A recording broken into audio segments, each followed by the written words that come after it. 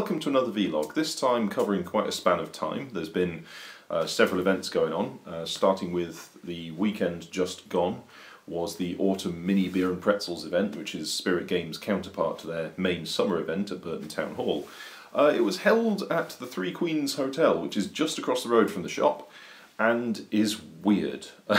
Um, I mean, it was a nice enough place, um, but it's kind of quite a rambling building. It's certain bits of it, they've taken areas between buildings and just roofed across them. So certain areas are technically outdoors, like you're, you're sat in the alleyway, but it's now got a roof. It's really weird.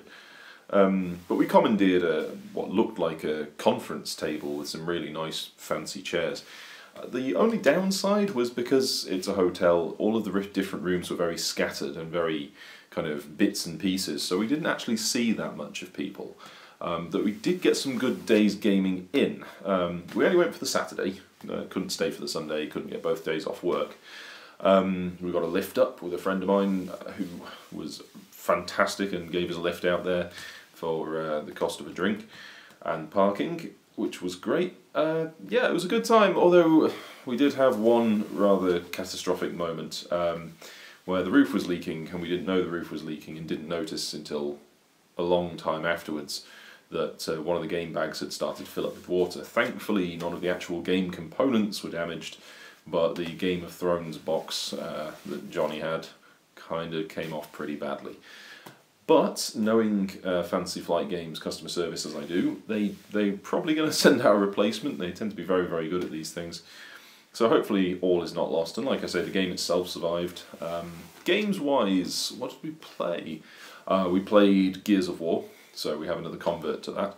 Um, had a really easy time of it though, it was weird. Usually we get kind of massacred in the first room, but it's a funny one. The first mission, if you survive the first room, it's it can be a bit of a cakewalk sometimes. And we, we had quite an easy time, but we did have to sort of use our brains. We didn't just kind of wander through it. We, we did make some very, very solid sort of tactical choices.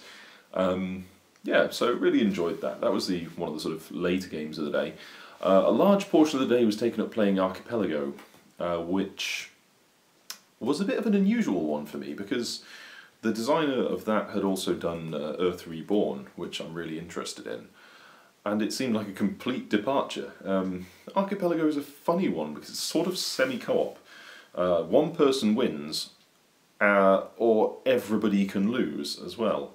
A um, little bit like Chaos in the Old World, where it's entirely possible for the game to win and none of the players. Now, we only played the short game, and bear that in mind because I think the short playing the short game is the main uh, kind of root of my criticisms because I I didn't really get on with it. I like the idea, I like how it plays, but I really don't like the victory conditions and the scoring, and I, I don't like what I feel are certain dead ends that you get to in the game. Because um, the way it works is each of you has sort of a hidden agenda, but those agenda cards have a condition for the game ending, and a sort of secret scoring condition, but that, that applies to everyone. So it's not like you're trying to pursue your own personal agenda as much as, you know, you're sort of, you know what's on the table and you know what's in your hand, but at the same time, everybody else will score it. So if it's something that everybody else does by chance, they'll score your card anyway. It's weird because you you kind of can't work towards a goal that well. Um, I mean, the goal we had was the main goal for everybody was to get stone. But if you don't use any stone, then it's just the first person to be lucky enough to be near stone and to stockpile it will win that condition. It's it's just random. it's silly. Um, and then the condition cards themselves, the, the, the victory condition cards were sort of odd. I mean, mine was to build markets, and the most markets sort of wins. Um, or wins some points anyway. And I built two, and Sarah built one, and so we got first and second place. And just because nobody else decided to build a market, they didn't score my card. It, it just feels really arbitrary. I do suspect with a longer game you'd have more chance to try and, eh, sort of like with Ankh-Morpork, figure out what everybody else's goals are and try and pursue them. But in the short game, there's no time. And like I say, you get these funny dead ends. Like like I say, when the stone resources run out. No, you don't. Not this time. Just avoiding a cat quake there of Missy knocking the camera. Um, yeah, when when the stone runs out, unless the person who's got it spends it and, and uses it to stop it, you come on, off you go. Uses it to say build something, it will never go back to the supply. It's you know it's it's frustrating. There's you know if, if somebody keeps hold of it, it's tough luck to everybody else, and it it just felt like it had lots of little niggles, but the actual idea of it's good. And I'm withholding judgment until I play at least the medium length game or the longer game because the short game, I can understand it's there to teach you how to play it, but it just felt like it didn't really work. Um, so yeah, I don't know. Uh, I got to play a game of Grind, which is Ace, uh, two-player, five-a-side, steam-powered robot football and wrestling. We played only half of it, sort of just, just five turns, because the rulebook is terrible and it took me ages to get my head back into how it all worked. But once we got playing, I really enjoyed it. It's It's got a complex rule set, perhaps unnecessarily complex. Definitely you can tell it's come from a war games background. But when you actually get into the play, it is very satisfying. Uh, you feel like you can cleverly set up blocking and you can sort of execute quite decent strategies. Um, so yeah, I'll have to play that again. I'd, I'd, forgotten how much fun I have with that game. It's a shame it really did quite badly. I imagine these days with um, Dreadball being out, there's not really anybody going to pick it up. But it's it, it's it's kind of unfortunate. I think if, if it's on sale, it's worth a punt. Um, what else did we play? We played a game of uh, Cthulhu Gloom, which initially I thought was a stupid retheme um, but is actually a far superior version of the game. Uh, the original Gloom, I felt, had far too many instances of having a, a hand of crappy cards that you just threw away. And Cthulhu Gloom seems to make more sense. The cards tend to be more double-edged swords that um, you know you can use them and they're powerful, but they'll harm you or they'll benefit the other player when you're trying to harm them. It's a much more interesting game and it works really well, and we had a lot of fun with that one. Um, so yeah, still still keen on that forgotten how much I enjoy it. Um, seems to be a running theme. What else? Kingdom Builder, of course, because we always now play Kingdom Builder, it seems. I'm going to have to be a bit careful I don't get burned out on that one. Uh, I don't want to play it so much that I, I get bored with it. Um, oh, what else? So, yeah, fantastic, and I'm really, really sort of couldn't be more happy that uh, Spirit Games put on two of these a year now. Uh, the shop seemed to do pretty well out of it, which is great. Um, and once again, I would recommend you take a look at least at their website um, and the upcoming events. So then there was the Monday at uh, the New Zealand Arms pub in Derby, which is the one we've we've kind of run every week, uh, which has now taken on a life of its own, and that's fantastic news. Um, again, Kingdom Builder, and we played Mission Red Planet, which I love to pieces. Uh, it's a, a, nice area control with action selection. I did better than I thought I would, um, but I missed a trick so badly. I'd, I'd got three astronauts on a ship, and I hadn't considered. I had the choice of two ships to launch, and I hadn't considered that somebody might have the saboteur, and in the next turn, Sarah blew up the ship and killed all three guys. It was just, oh, painful, but it was a very well timed saboteur, so can't be too mad about it. I didn't do so well on that, but never mind. I'm always happy for another game. Um, I do sometimes wonder if the bonus cards are a little out of whack, though. Some of them seem to be really difficult and others seem to be really easy. But never mind. Um, so yeah, Mission Red Planet, always, always entertaining. Never had a bad game of it. Uh, hmm. can't remember what else. We did play Unspeakable Words a couple of weeks back, which, uh, I don't know, it's not much game to it, but it's a good laugh. If you play with the extra variant rules and have a bit more a bit more to it, it's a lot of fun um, for just a quick sort of wordplay card game. Um, then we have Thursday. This cat here. This is Missy Cat. She doesn't like being on camera because it means she's been caught doing things she doesn't isn't supposed to. But She's going to sit with me for a minute because she's busy rustling around. Okay, you stay there. So then we had Thursday, uh, the beer and pretzel, not beer and pretzel, what am I about? D6 plus beer, our monthly event on the third Thursday at the Furnace Inn, uh, who are, as always, very accommodating. Um, this was our 17th um, 17th event.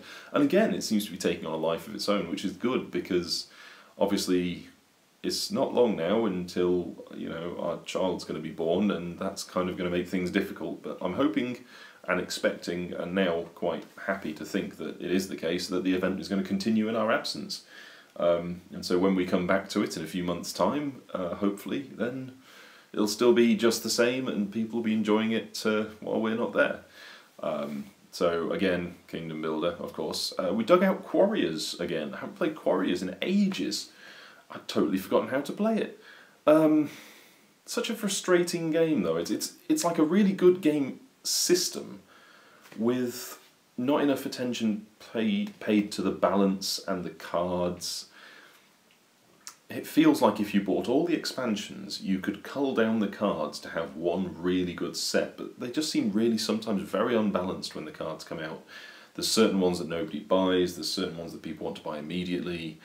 You know, you feel like I got a good kind of game engine running, I got a good sort of dice dice pull running, but my monsters just weren't powerful enough. I should have fed some better ones in. I think if you play with advanced rules, it changes everything and it does make it better, but we were just playing the basic rules to get the game sort of back again. It was a, it was fun, but it I don't know. It feels like they never put enough work into that game, and the expansions, none of the expansions seem to relate to any of the others, and it's like it's just been handled so badly.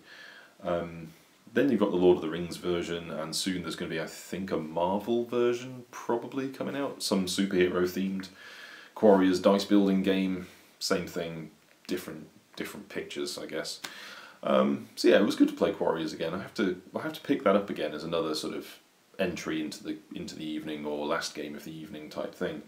Um, yes, we played Tsuro on Monday. Sarah had not played it before, and it's inspired us probably to pick up Tsuro of the Seas for a, a bit of a blast because that one's a lot prettier.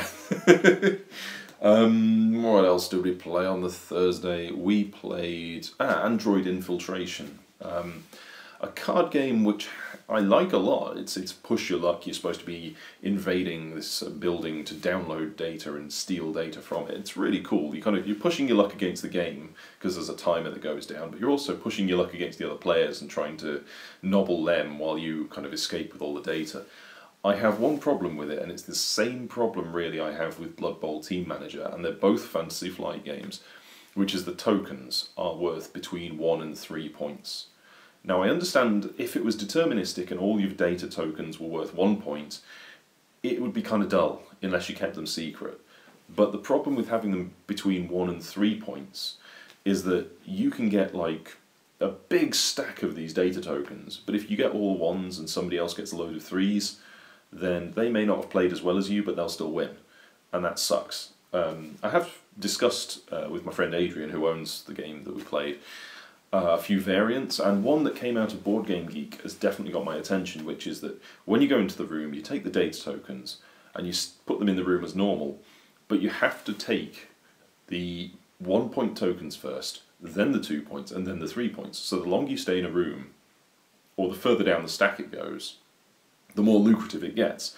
Which seems really cool because that means that if you're just hitting and running each room, uh, you'll only be grabbing ones. But if you stay there and, and go at it for a bit, you'll be grabbing threes. Or if you come in opportunistically and grab the last tokens, then you'll be getting the higher point ones. And it kind of makes a bit of balance and gives a bit more strategy and stops you just getting a random score at the end of the game, which frustrates the absolute hell out of me. And in what is otherwise a game I think is a lot of fun. Although, interestingly, one review pointed out something that I totally agree with, which is that the Android universe is too po faced for how much fun the game is. it's like the game feels too sort of slightly daft and chaotic and, and entertaining and stabbing in the back type game. And the Android universe is a very cold, clinical, serious seeming setting for it. They, they jar quite nastily. But the, game's, the game itself is still a lot of fun. Um, so yeah, all of this stuff going on. In terms of sort of new games and, and stuff that's going on in the world of gaming, I can't say there's been a lot that's uh, grabbed my attention recently. Um, at the moment, I'm just trying to get some games played that I already own. Next up, I'd like to get Rallyman played, and Defence of the Realm needs to hit the table again. Uh, a great game with really irritating board. Um, apart from that, not sure what else there is to say. I still haven't got a decent game of X-Wing in. Um, I'm still sort of umming and ahhing about whether to try and pick up Planet Steam eventually. Oh, that's something. Uh, big thanks to Edition du Matagot for sending me out the replacement headdresses for Giants. In my review I mentioned that the headdress pieces don't fit very well. I emailed them and they sent me replacements straight away and they are lots better. So if you own a copy of that game or are thinking of buying it, that is one component issue that you can write off completely. It can get it fixed, which is great. Um, next review I'm going to be doing will be Spartacus, and probably the expansion as well. Won't be gaming again till Monday, and I'm going to see if I can get something different to the table. In the meantime, uh, I hope everybody's doing well, and I will see you soon.